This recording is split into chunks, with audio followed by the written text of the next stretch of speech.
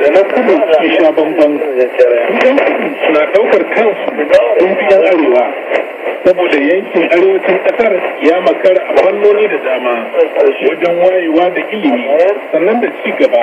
lura da cewa kudancin ƙasar ga teku sannan duk wasu muhimman abubuwa na gine-gine da kasuwanci da faransa ta kafa na kudu ne